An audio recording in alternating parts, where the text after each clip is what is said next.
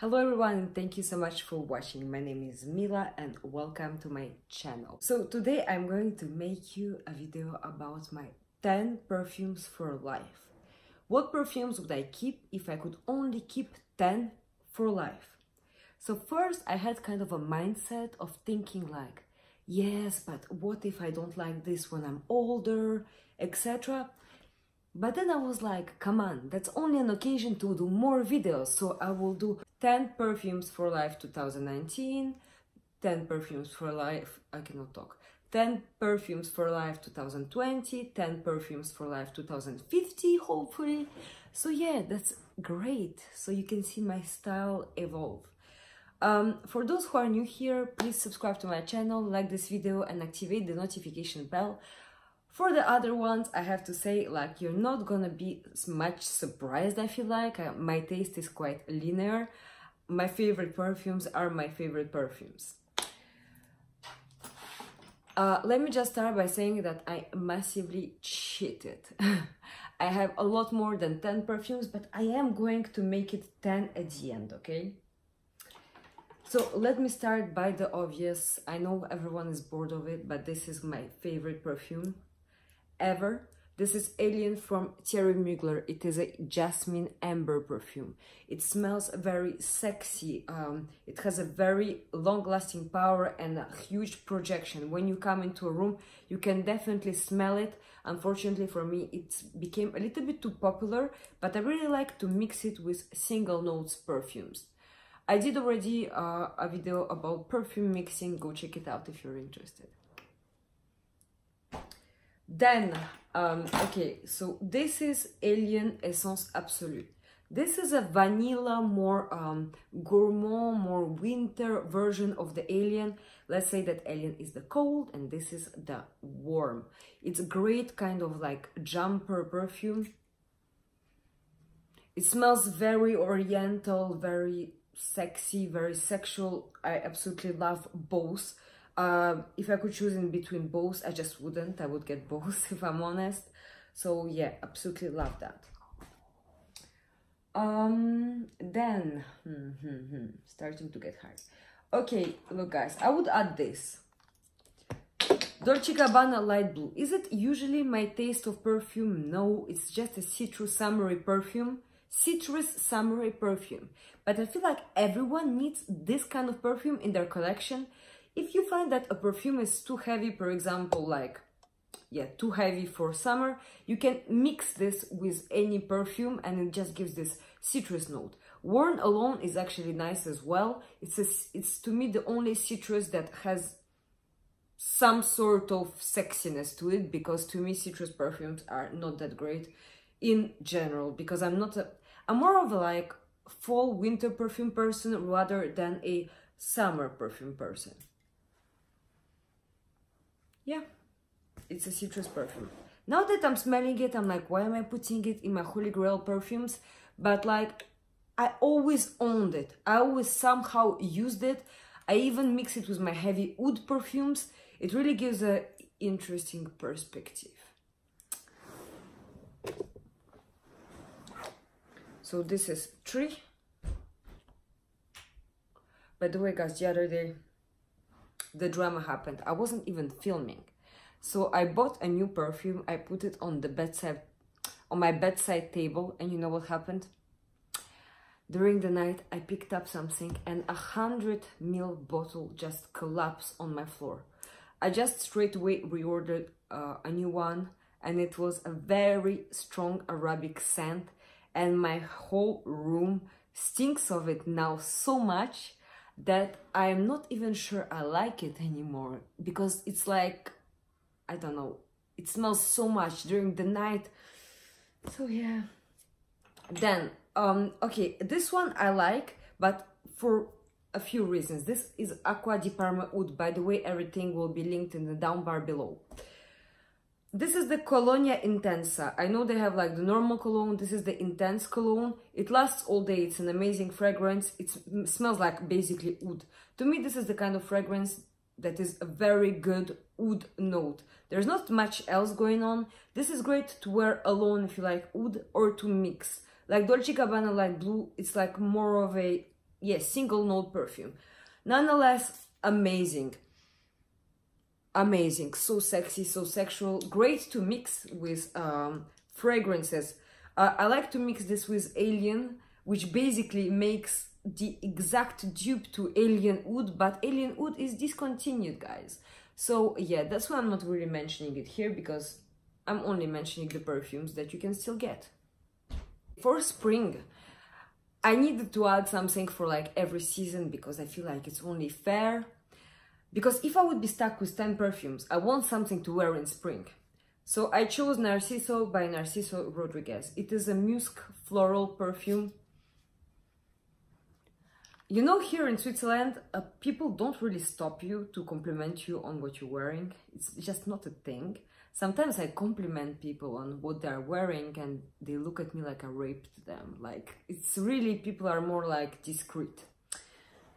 But I'm not. So yeah, this is Narciso by Narciso Rodriguez. It's a musk floral. It smells just amazing. It's the, by far my most complimented perfume. I was got, I was got, I was getting, um, yeah, people people stop me in the street to ask me what I'm wearing when I'm wearing that. I only wear it exclusively in spring or summer. Okay, then, this is more of a particular one, but I don't see myself without it. This is Lush Lust.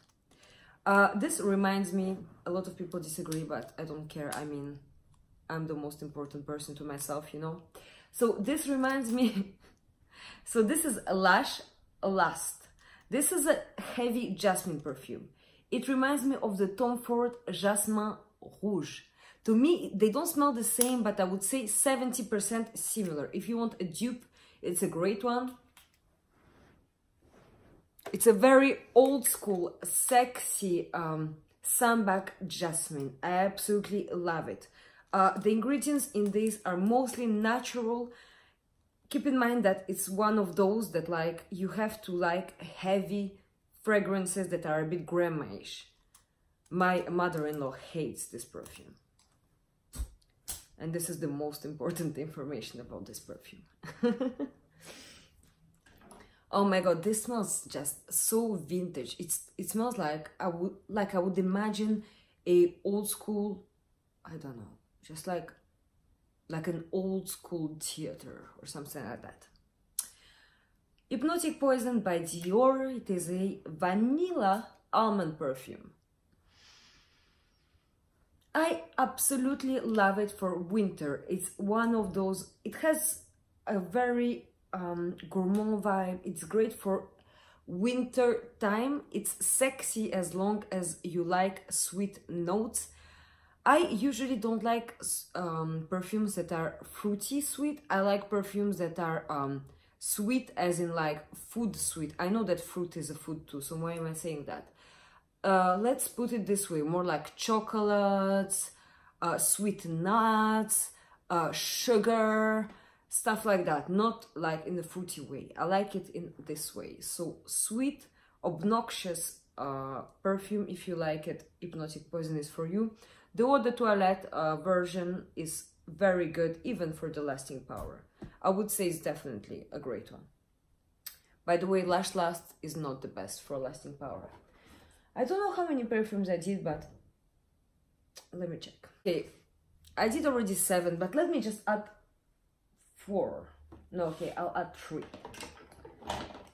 Thierry Mugler Aura.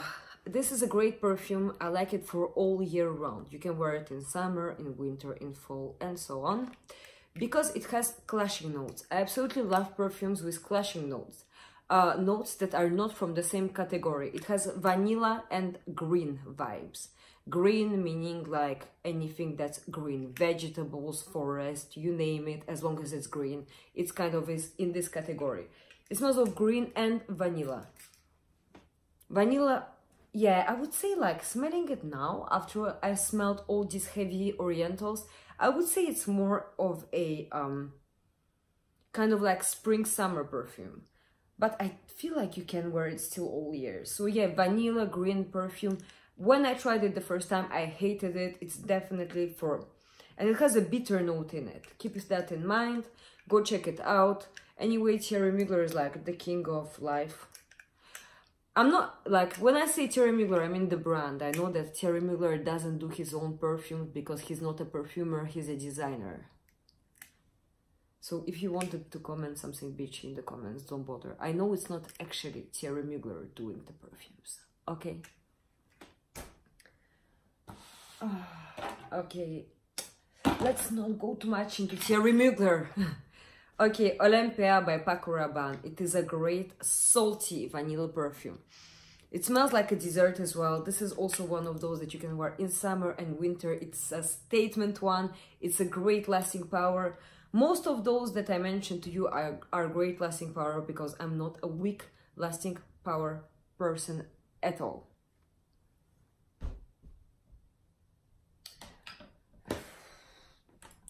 One of them is not okay let me go into this this is uh, Ambre des Merveilles from Hermes. This is the ultimate fall perfume, in my opinion.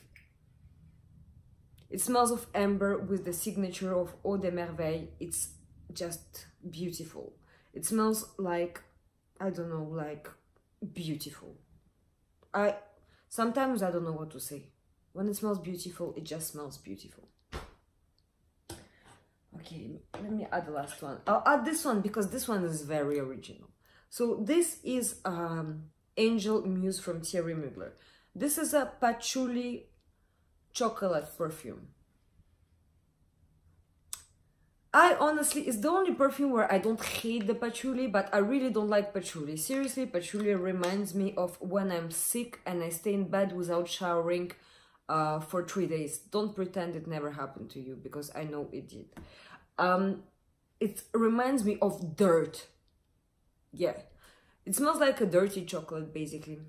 Yes, it's very original. So as you can tell, I love original fragrances. These are my um, 10 fragrances for life that I will update every year. So yeah, guys, tell me um, what is your holy grail perfume for life if you could keep only one if I could keep only one, I would say I would keep Alien from Thierry Mugler because I really like it. So yeah, this would be my number one holy grail. Please like this video, subscribe to my channel, I would absolutely love it. And I will see you in my next one. Bye guys!